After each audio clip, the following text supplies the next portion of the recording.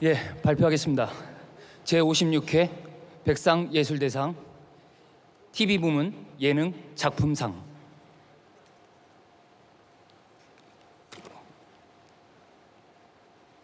축하드립니다. 내일은 미스터 트롯. 축하드립니다. TV조선 내일은 미스터 트롯은 35.7%라는 종합 편성 채널 역사상 최고 시청률을 달성. 대한민국 트롯 열풍을 이끌며 예능계의 새 역사를 써내려갔습니다. 수상을 진심으로 축하드립니다.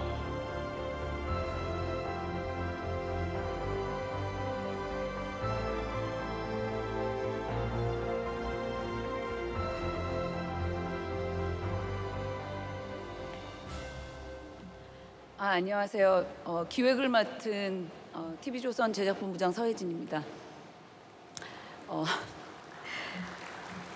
저희 어, 같이 기획한 노윤 작가가 늘 이런 얘기를 해요. 저희가 뭐를 했다고 이렇게 많은 칭찬을 해주시냐고. 저희도 어, 저도 굉장히 이 상을 받는 게 굉장히 기쁘지만 한편으로는 몸둘 바를 모르겠습니다.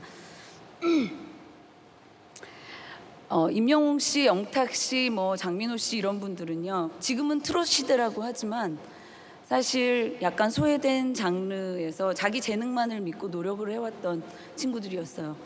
어, 백상은 이분들이 힘내라고 어, 어깨를 두드려주는 그런 의미로 받아들이겠습니다. 24시간 중에 20시간 이상을 몰입해준 저희 작가님들 그리고 후배 PD님들 너무 감사합니다.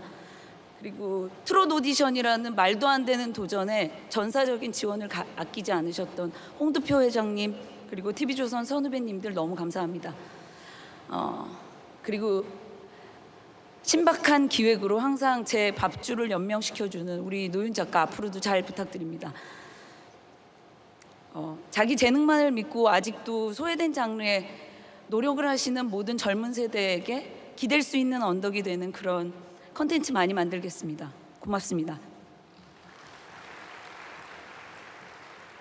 안녕하세요. 미스터 트롯 담당 PD 전수경입니다. 어, 이렇게 큰 상 주셔서 너무 감사하고 그 미스터 트롯을 제작하면서 약 10개월간 밤낮 없이 애써주셨던 작가님들, PD님들께 너무 감사드립니다. 그리고 저희 어, 이제 새롭게 시작하는 미스 트롯 시즌 2 어, 많이 기대해 주시고요. 지원 많이 부탁드립니다. 감사합니다.